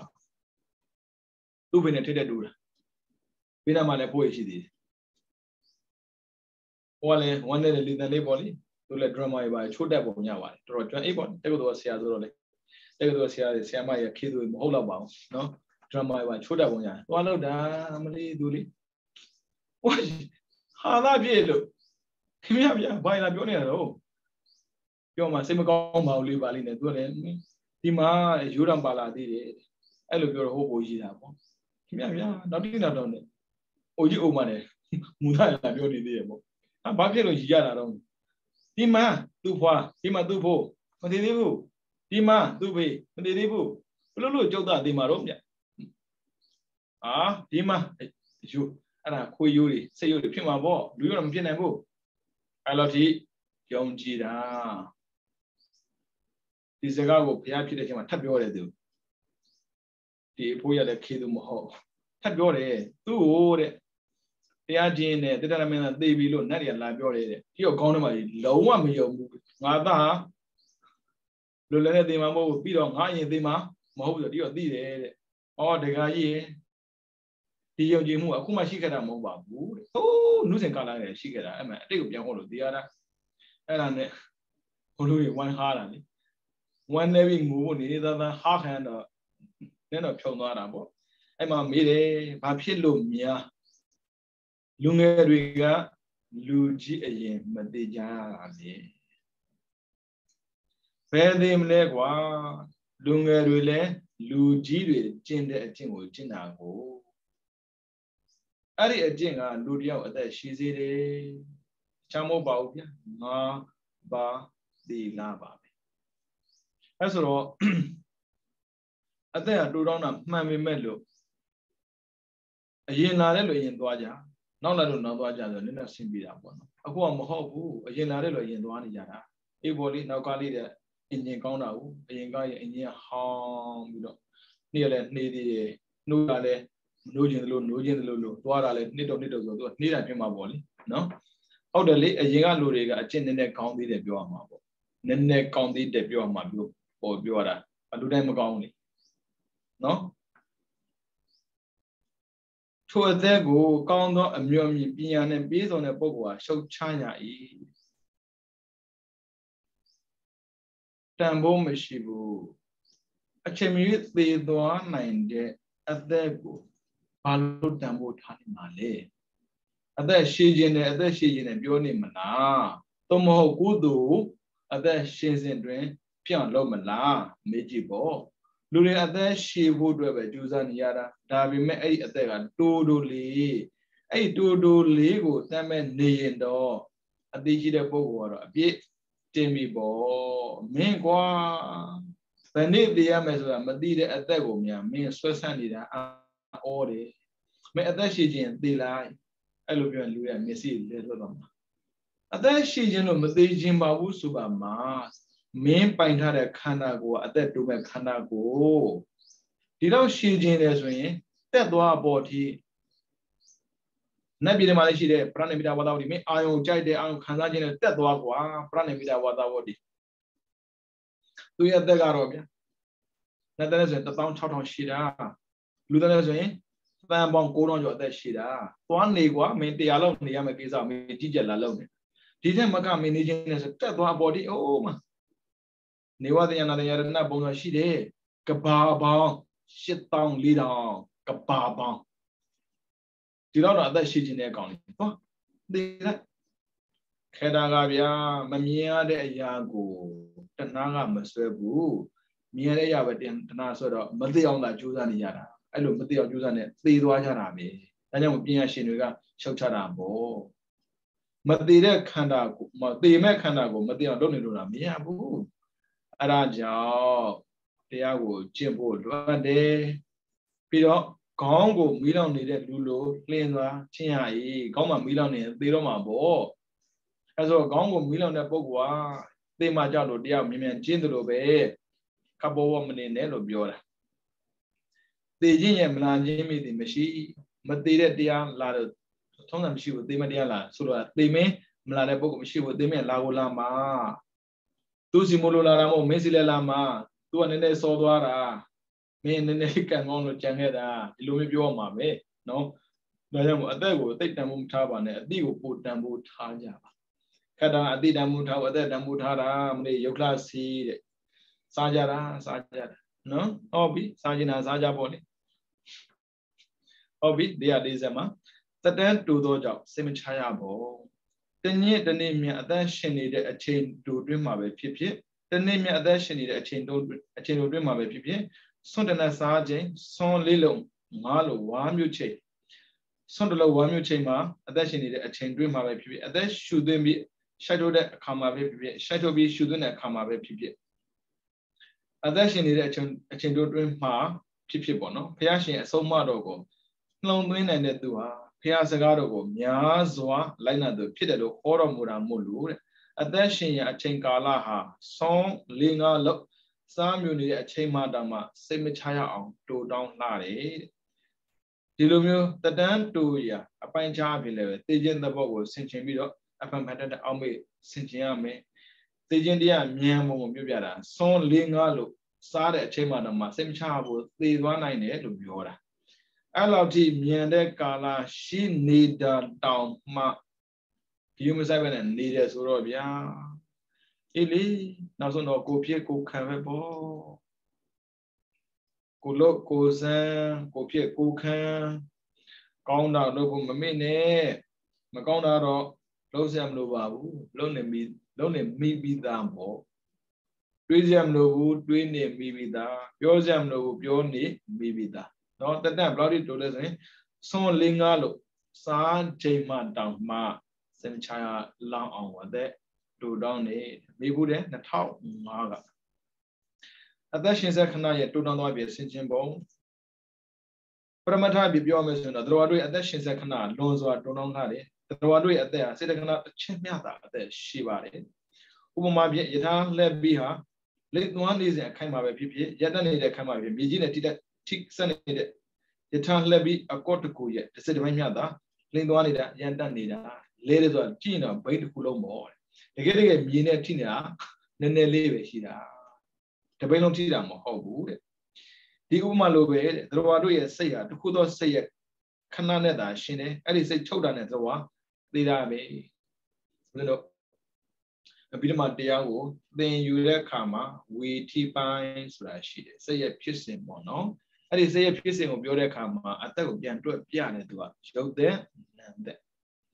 နာမ်တဲ့ကြတော့မြင်တယ်စိတ်တခဏတစ်ချက်ပဲစိတ်တခဏတစ်ချက်ဆိုခဏကြီးတစ်ချက်ပေါ့နော်ခဏငယ်သုံးချက်ဖြည့်တည်ပြက်ပါဠိကဥပတိပေပျောက်သွားပြီနောက်ထပ်အသက်လာတယ်ဒါပေမဲ့အသက်လာတဲ့အချိန်18ချိန်သို့မဟုတ်အသေး52ချိန်ပြည့်မှရုပ်ကပြက်တာကိုရုပ်ကနေတယ် နာမ်ကမြင်တယ်ဘလောက်ပဲနှေးနေအချိန်တန်ရင်ပျောက်ွယ်ရတာပဲဒါဥစဉ်တို့အသက်နဲ့ပတ်သက်ပြီးသင်ဖို့တာကိုနာမ်ကတာမြင်တယ်ရုပ်ကနှေးတယ်ဘလောက်မြင်မြင်ဘလောက်နှေးနေသေဆုံးရတာပဲဒါကြောင့်တန်ဖို့ထားတာဟာရုပ်မဟုတ်ဘူးနာမ်မဟုတ်ကိုလှုပ်ထားတဲ့ကိုသို့ကိုသိနေတဲ့ပညာဒါပဲတန်ဖို့ထား ရုပ်တရားနံတရားဆိုတာဖြစ်ပြီးပြပေါ်ပြီးပြောသွားမှာဟုတ်ဒါကြောင့်မြတ်စွာဘုရားရှင်ကနေပြီးတော့441မှာလွန်ပြီးတော့အတိတ်ခဏ၌မှာရှင်ခဲ့ပြီးရှင်ဆက်မဟုတ်ဘူးရှင်လည်းတတ်မဟုတ်မင်းရှင်တန်ခဲ့ပြီးပြီမင်းရှင်နေဆက်မဟုတ်ဘူးနောက်ထပ်ရှင်မှလည်းမဟုတ်ဘူးမလာသေးတဲ့အနာဂတ်ရဲ့စိတ်ခဏမှာရှင်ပြီးမဟုတ်ရှင်ဆက်မဟုတ်ရှင်လည်းတတ်မရောက်သေးတာကြတော့မင်းရှင်ဆက်ပြောလို့မရဘူးရှင်တော့ရှင်အောင်မှာပေါ့အကြောင်းကိုဆွဲပြီးတော့ဖြစ်ဆက်ပိဿပန်စိတ်ရခဏမှာရှင်ပြီးမဟုတ်ရှင်ဆဲ ရှင်တဲ့မဟုတ်ပိဿပန်အတိတ်အနာဂတ်တော့ခွဲခြားပြတာဘယ်ခဏမှာပဲဖြစ်ဖြစ်ခဏသုံးခုဆိုတော့ပေါင်းပြီးမသိဘူးအတိတ်ပြီးသွားပြီပိဿပန်မဟုတ်ဘူးအနာဂတ်မဟုတ်ဟောပိဿပန်ဖြစ်တယ်ဒါအတိတ်မဟုတ်ဘူးအနာဂတ်မဟုတ်အနာဂတ်ဖြစ်တယ်ပိဿပန်မဟုတ်အတိတ်မဟုတ်ဘူးသူ့အချိန်နဲ့သူကန့်သက်ချက်သွားတာမို့လို့အချိန်အလုံးကိုနှွှမ်းမိုးပြီးနေရတဲ့တော့ဆိုလောကမှာမရှိဘူးလေအသက်တည်၎င်းအတဘောကို လို့ခေါ်တဲ့နာရုပ်အပေါင်းတည်၎င်းချမ်းသာနဲ့ဆင်းရဲတို့တည်၎င်းသက်သက်တိကျသဘောတရားပဲတခုတခုသောစိတ်နဲ့ရှင်ပြန်ပြီးတော့ဖြစ်ဆက်ဖြစ်တယ်အဲ့ဒီအသက်စသည်တို့ရဲ့ခဏတိုတောင်းနှင်းမြန်စွာ ဖြစ်တယ်ရှိတယ်သေဆန်ပုဂ္ဂိုလ်ရဲ့ချိုးချုပ်လေကုန်နဲ့အကျင့်ခန္ဓာတို့ဒီလည်းကောင်းဒီလောကမှာရှင်လျက်တိစပုဂ္ဂိုလ်ရဲ့ချိုးချုပ်လေကုန်ပြီးသောခန္ဓာတို့ဒီလည်းကောင်းရှိရှိပါတယ် အလုံးစုံလည်းဖြစ်တဲ့ခန္ဓာနှမျိုးဟာချုပ်ခြင်းပြည့်ခြင်းအဖြစ်တူညီတယ်သေသွားတဲ့ပုဂ္ဂိုလ်ရဲ့ခန္ဓာပဲပြောပြောရှိနေတဲ့ပုဂ္ဂိုလ်ရဲ့ခန္ဓာပြောဖြစ်ပြီးပြပေါ်ပြီးပြောင်းချုပ်တဲ့ခြင်းတူတူပဲနော်သူကရုပ်သဘောနာမ်သဘောပြောတာကိုချုပ်ပြတ်သွားပြီးတဲ့ခန္ဓာတွေကပြန်ပြီးစခြင်းပေါ်လာခြင်းဆိုတာမရှိဘူးတဲ့ဒါဆိုရှင်မြတ်နောက်ထပ်ပွားရတာအသေးအကြောင်းကြောင့်ဖြစ်လာတဲ့အကျိုးအသစ် အဟောင်းကဘယ်တော့မှပြန်မဖြစ်ဘူးအဲနှစ်ခါမဖြစ်ဘူးနှစ်ခါဖြစ်တာထုံးတာမရှိဘူးဒါဆိုရှင်မြတ်နောက်ထပ်ဖြစ်လာတာမလို့နောက်ထပ်ဖြစ်တာလေအခုကဖြစ်တာမှမဟုတ်တာဟုတ်မဖြစ်သေးတဲ့စိတ်နဲ့ဖြစ်တဲ့ဆိုတာရှင်တာမဟုတ်ဖြစ်ဆက်စိတ်ဖြစ်တာရှင်နေတာအဲ့ဒီဖြစ်ဆက်စိတ်ရဲ့ပြည့်ခြင်းကြောင့်သရဝါဆိုတဲ့လောကသေးတာပေါ့တဲ့ဒါပေမဲ့တဲ့တိတ်တရှင်နေတဲ့ဒီလိုစသည်ဖြင့် တန်တာနာပညာရှင်ဆက်စိတ်ကိုရည်သောကြောင့်ပရမတ္ထသဘောအဖြစ်အမှန်ဖြစ်နေတာပေါ့တဲ့ပညာနဲ့ပရမတ်ကိုခွဲပြတာပရမတ်ကအချိန်တန်းသိနေတာပရမတ်မှာဘုရားတို့စိတ်ကိုပဲကြည့်စိတ်ရတဲ့လည်းဘာအိုးစိတ်တခဏတစ်ချက်ဆိုရင်သေနေမသေးတဲ့ချိန်မရှိဘူးစိတ်ရတဲ့ချိန်ကလေစိတ်ရတာပြောတာနော်နိရောဓသမပံဝင်စားနေတဲ့အချိန် ပြီးရင်အာတင်ညတမြမပြေမာမြမဖြစ်နေတဲ့အချိန်ရအဲ့ဒီနှစ်ချိန်ပဲစိတ်ကရတယ်နိရောဓသမပကြတော့သူကဉာဏ်နဲ့ဇံပေါ့နော်ဉာဏ်ကဆိုပါစို့အနာဂါမိဖို့ဉာဏ်ရတ္တဖို့ဉာဏ်ဖြစ်ရမယ်ဇံကြတော့သူကအဘိညာဉ်ရထားအဲ့ဒါအနေနဲ့ပေါင်းလိုက်မှရုပ်တဲ့ နာမ်တဲ့ပေါ့နော်ဖြစ်နေတဲ့စိတ်ကိုချုပ်အောင်လုပ်လို့ရတာစိတ်ကချုပ်သွားတယ်ဆိုရင် ဖြစ်မနေဘူးဖြစ်မနေဘူးဆိုရင်ချုပ်တယ်ပြောလို့မရဘူးဖြစ်မှချုပ်တာကိုမဖြစ်ရင်မချုပ်ဘူးလေအဲ့ဒါချုပ်နေတယ်ဆိုတာဖြစ်နေတာမဟုတ်ဘူးအဲ့ဒါအဲ့ဒီကာလလုံးဝမဖြစ်ဘူးဥပမာဆိုပါစို့ခုနှစ်ရက်ဝင်စားမယ်ခုနှစ်ရက်လုံးလုံးမဖြစ်ဘူးနော်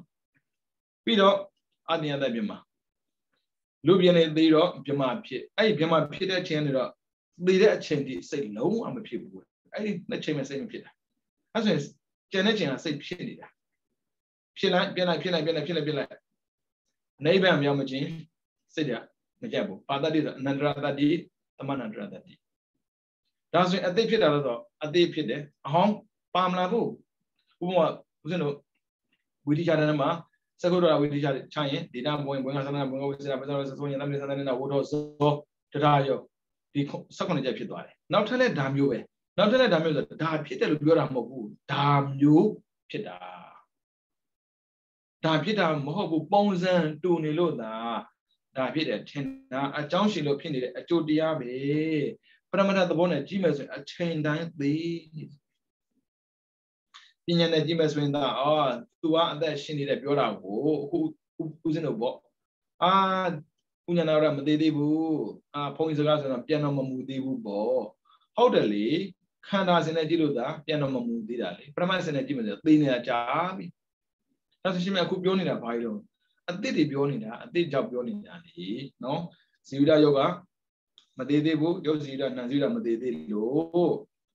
ဒီလိုမျိုးမရဏနုတတိကိုပွားဘာဝနာပွားများကြောင့်အချင်းရ၈ပါးထဲမှာ တဘာဝသောအချင်းရပြီသိခြင်းတရားကိုအဖက်မဲ့ရှုမှတ်ခဲ့မဲ့ဆိုရင်ယောဂီပုဂ္ဂိုလ်ရဲ့စိတ်ဟာနှုံတဲ့မှုဤအစွမ်းဖြင့်အထုံရလာပြီးအမှန်ရမှုတတိယလည်းကောင်းစွာထင်ပေါ်လာတယ်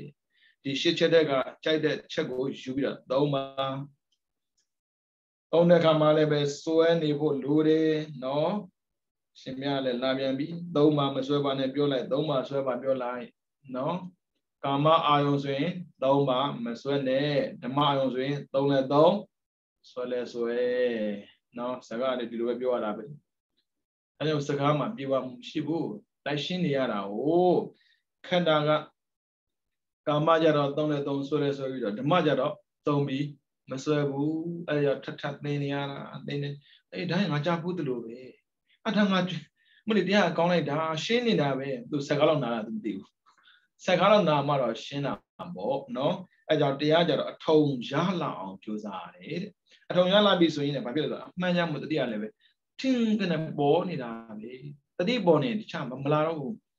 ဘာဖြစ်လို့ကိုယ်တော်မဖြစ်တာလဲမဖြစ်တာလဲတတိမရှိလို့ပေါ့ဘာဖြစ်လို့အာယုံရတာလဲတတိမရှိလို့ပေါ့တတ္တာရှိတာပဲလေမင်းဗုဒ္ဓကိုယုံကြည်တဲ့ပုဂ္ဂိုလ်တတ္တာရှိတာပဲလေတတ္တာရှိလို့တတိမြဲတာမဟုတ်ဘူးတတိမြဲလို့ကုသိုလ်ကမြဲတာအဲ့ဒါကြောင့်အပမဒိနလို့ဘုရားဟောတာပေါ့တတ္တာလည်းကုသိုလ်စေတသိက်ပဲတတိလည်းကုသိုလ်စေတသိက်ပဲ တတ္တာကြောင့်ကုသိုလ်မြဲတာမဟုတ်ဘူးတတ္တာကြောင့်ကုသိုလ်ဖြစ်တာတတိကြောင့်ကုသိုလ်မြဲတာဒါကြောင့်ဖြစ်လဲဖြစ်မြဲလဲမြဲဖို့လိုတာကိုကျွန်တော်မျိုးတို့ကလေတတ္တာကြောင့်ပြီးတော့ကုသိုလ်လုပ်တယ်ဖြစ်တော့ဖြစ်တယ်မမြဲမမြဲတော့ဘာဖြစ်လဲထပ်လို့ရတာပေါ့ရှင်မထပ်လို့မကောင်းဘူးလားထပ်လို့ရမကောင်းလို့ထပ်လို့ရတာဝေရလဲဆက်ရသေးတယ်ထပ်လို့တဲ့ဆိုကြတဲ့ကနောက်တဲ့အစ်စ်လို့ပြန်လို့ရတာကိုအဲ့ဆိုမှန်ပြီးဖို့မတိကြဘူးအဲကြောင့် အထုံရလာပြီးအမှန်ရမှုတတိယလည်းကောင်းစွာထင်ပေါ်လာတယ်နိဝရဏတရားများကင်းကွာပြီးတော့ဇန်အင်္ဂါများလည်းထင်ရှားစွာဖြစ်ပေါ်လာတယ်ဗရဏနုတတိရှုံးမတွက်နဲ့နော်ကမ္မထန်40တမှသူလက်တစ်ခုပါဝင်သေခြင်းတရားကိုဆင်ခြင်ယုံနဲ့တင်ပဲသမာဓိရနိုင်တယ်အဲ့ဆိုတရားရှားစရာကိုမလို့ရှိနေပြီသားဒါပေမဲ့လူဆိုတဲ့ပုံကဘာနဲ့တူလဲဆိုတော့စားတော့ဆိုင်မှာ ဘောမှားစားနေတူတယ်ကိုယ်ကစိတ်ကူးထားတာပေါ့လေဘာလေးဆိုင်ကောင်းမယ်ဘာလေးဆိုင်ကောင်းမယ်ကိုယ်ကတော့မှားလိုက်တယ်ကိုကကိုတယောက်တည်းနေတော့ကတော့ဟုတ်ဒါပေမဲ့သူများမှားတဲ့ခါမှာအေးအဲ့ဒါမျိုးလေးမှရင်ကောင်းမှာပဲရှိတာကိုတန်ဖို့မထားဘူးအဲသူများမှားတာကိုပဲတန်ဖို့လိုက်ထားတာလေဒီတိုင်းပဲကိုယ်ခန္ဓာမှာရှိတဲ့တရားကိုကြတော့တန်ဖို့ရှိတယ်လို့မထင်ဘူး သူများပြောတာကို နားထောင်ရမှာတန်ဖို့ရှိတယ်ထင်တာရှင်ပြရေသူများပြောတာနားမထောင်သင့်ဘူးလားနားထောင်သင့်တာပေါ့သုတ္တဝါအရိယသာဝေကောအရိယဖြစ်ခြင်းတဲ့ပုဂ္ဂိုလ်ကိလေသာကင်းကျင်တဲ့ပုဂ္ဂိုလ်တော့သူများစကားနားထောင်ရတာလေဒါမဲ့နားရောင်ရတာမဟုတ်ဘူးလေကမ္မထမ်းဆိုတာနှစ်ခုသုံးခုကျင့်စရာမလိုဘူးကိုယ်နဲ့သင်တော်တာကိုသာကြည့်ရတာမျိုး တခါကျရင်စိတ်တမကြတာလည်းရှိကောင်းရှိမှာပေါ့အခုဒီသမာဓိမရသေးဘူးပေါ့ကျွမ်းကျင်အောင်လှုပ်ထားရင်သမာဓိကရလာမှာပါလောဘကြီးလို့သမာဓိရတာမဟုတ်ဘူးလောဘပါမှသမာဓိကရတာမျိုးအဲတခုကိုပဲတည်တည်ရရလို့ဟိုကလုံးမဖြစ်တယ်ဆိုတာဖះမဟုတ်ဘူးတမာရီရတဲ့ရလို့ရင်တော်ပြီပေါ့နော်ဟုတ်ပြီ442မှာ ဥပ္ပစရဇံတို့သာရောက်နေခြင်းအကြောင်းဇံတော့မရဘူးဇံနာတော့ရောက်တယ်လို့ပြောပြတာဒီမရဏနုဒတိဘာဝနာသိခြင်းဆိုတဲ့အာရုံသဘောတရားဖြစ်တာရဲ့ထိတ်လန့်ဖွယ်ဖြစ်တာရဲ့ကြောင့်အပ္ပနာတော့မရောက်ဘဲဥပ္ပစရဇံတို့သာရောက်တယ်သေခြင်းရဲ့သဘောတရားအာရုံဖြစ်နေတာရဲ့ပြီးတော့ကြောက်စရာကောင်းတာရဲ့အကြောင်းဇံတော့မရဘူးတဲ့ဒါပေမဲ့ဇန်နာတီတော့ရောက်တာပေါ့ဟောမစိုးဘောဇန်နာတီရောက်တယ်မသေးဘူးလေနော် အဲ short တော့မတွက်နဲ့ကိုမှရှင်းနေတဲ့တရားကိုကိုယ်တိုင်တန်ဖိုးထားဖို့ပေါ့နော်အပနာတော့မရောက်နိုင်ခြင်းကြောင့်ဘာဖြစ်လို့ဇံများတာလဲပေါ့နော်လောကုတ္တရာဇံဟာပฏิပဒါညာနာတဒနာဝိသရိဘာဝနာဆိုပြီးအပနာတော့ရောက်တယ်ဒုတိယသရုဒ္ဓအရုပဇံတွေကအာယုံကိုကြော်လွန်တဲ့အာရမဏတိကမဘာဝနာစံပြီးအပ္ပနာတို့ရောက်တယ်ဇံရတာနှမျိုးရှိတာကိုမဲဖို့ရရင်လည်းပဲဇံရတတ်တယ် ဒါကြောင့်မေဂသေတာဇံခေါ်တယ်ရှင်စုလည်းပဲတို့လို့ပေါ့သူတို့ကဇံရအောင်မကျင့်ဘူးနော်ဖြစ်ပျက်ကိုရှုတာယဟန္တာလည်းဖြစ်ဇံလည်းရနော်အခုကဇံခန့်ပြောနေတာကိုဇံရတဲ့ကြောင့်ပြောတော့ဘာဖြစ်လို့သူတို့ဇံရတာလဲဆိုတော့ပฏิပဒညာနာတဒနာဝိတ္တုတိသူတို့ရဲ့အကျင့်ကသူတို့ရဲ့အသိကတန်ရှင်းစင်ကြနေတာမို့လို့ဇံရတာပေါ့တဲ့ဟုတ်ပြီဒုတိယစတုဒ္ဓအရူပဇံတွေဟာအာယုံကျော်လွန်တော့ကျော်လွန်တဲ့အာရမဏတိကမနဘာဝနာဆွမ်းဖြစ် အပ္ပနာတို့ရောက်တယ်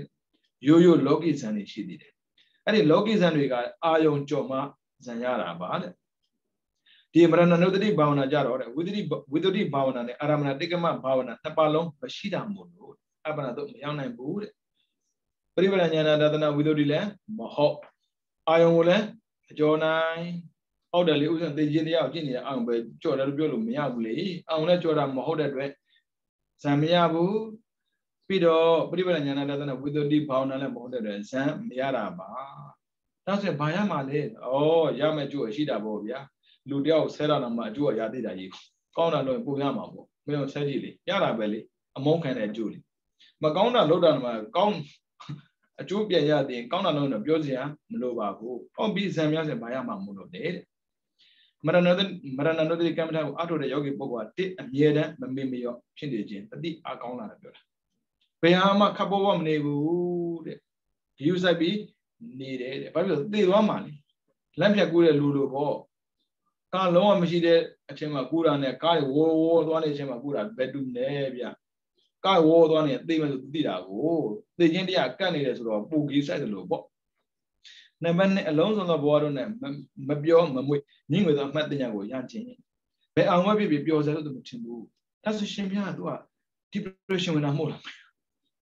လူတွေးမှလေသူတို့ကပျော်နေမယ်အာဘဝလို့ထင်တာကိုမဟုတ်ဘူးတန်ဝေကညံကြောင့်မပြောနိုင်တာမယုံကိုသိမယ်လို့သာသိကြည့်ပေါ့ညံနဲ့လေဘယ်ဘယ်ဟာမြတ်ပြောစရာကောင်းတယ်လို့ထင်အောင်ပါတော့သူမှပြောဖို့ချင်းမရှိဘူးသိရမဲ့ချင်းရဲ့ကောင်းတာတော့မချင်းပဲကြံတာကို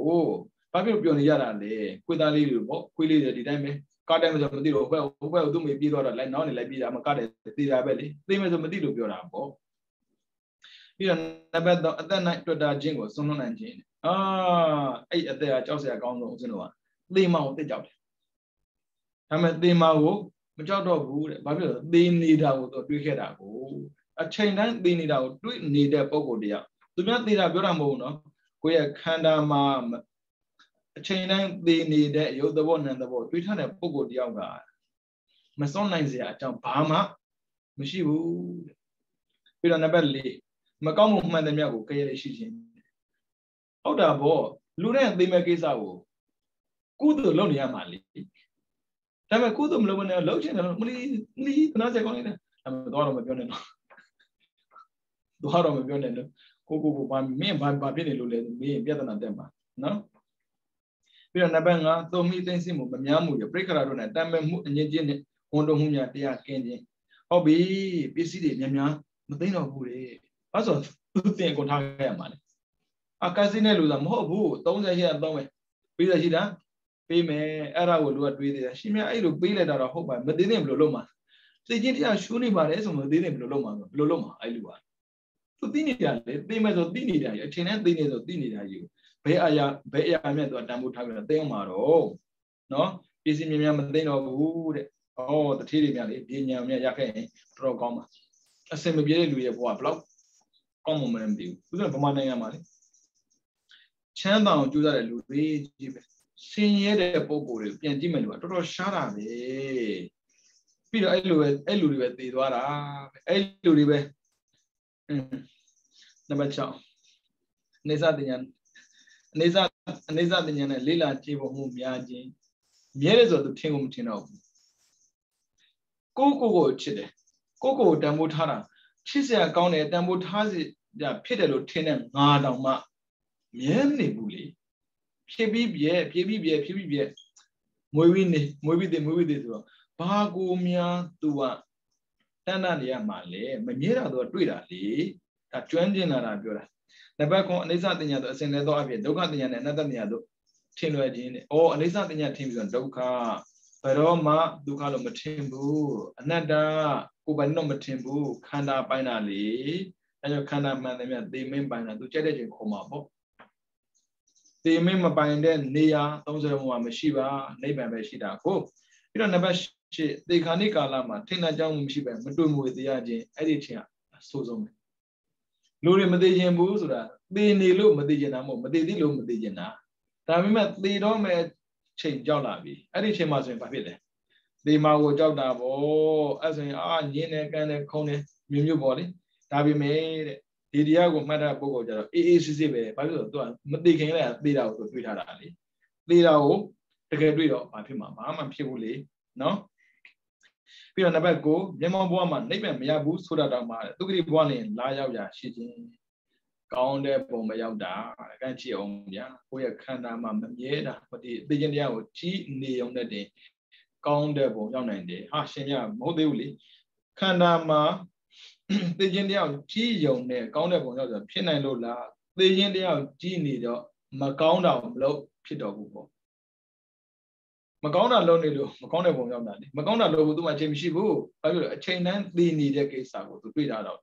ကောင်းတာပဲသူပြီးစိုက်တာပေါ့စုစုပေါင်းအကျိုးကိုမျိုးရတယ်နောက်ဆုံးပြတဲ့အကျိုးကတော့တော်တော်ဆင်ပြေတယ်ပြောရမှာပေါ့နော် မကောင်းတဲ့ပုံမရောက်နိုင်ဘူးမေးဖူးတဲ့1980ခွန်ပြီးတော့2003 2017 3နှစ်မေးဖူးတယ်သုံးခါမေးဖူးတာပေါ့ဗျာဒါဆိုရင်ကိုလည်းသေနိုင်တဲ့သေမျိုးပါပဲသေမျိုးထဲမှာပါနေတဲ့ကိုကရောဘာဖြစ်လို့သေနိုင်တဲ့တရားကို မရှုနိုင်ရမှာလဲမမှတ်နိုင်ရမှာလဲနေတဲ့နေတဲ့ကမ္မဋ္ဌတစ်ခုနေနဲ့ဥဒ္ဒထားရတော့မရှုနိုင်ဘူးဆိုတာတော့မှ အချိန်မှလိုက်တော့နည်းနည်းပြန်ကြည့်ဖို့လိုအပ်တာပေါ့အဲကြောင့်ငါသည်မုတ်ချတရားမြည်အချိန်မှန်းတာလို့တော့သည်အကုသိုလ်လို့အချိန်မရှိနော်အေးပေါ်လေ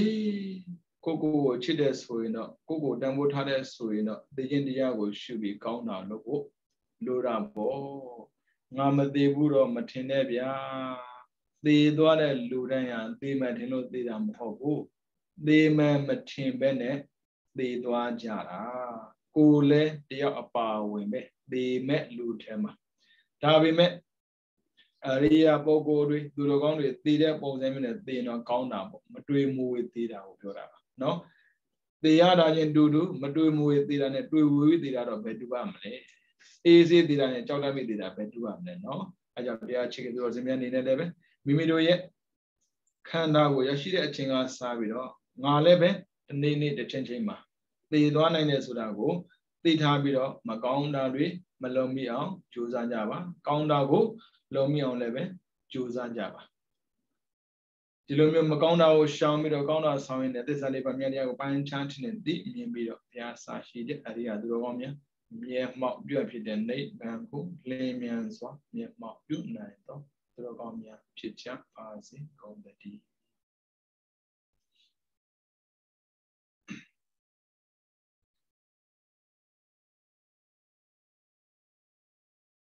ဗုဒ္ဓသာသနာစေရန်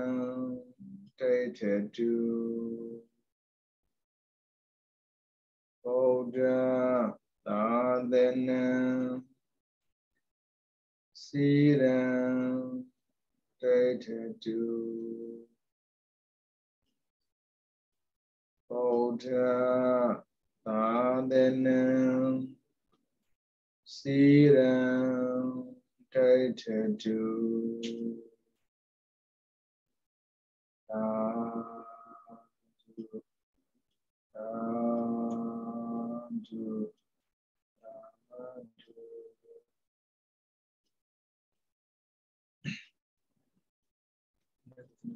ဗုဒ္ဓ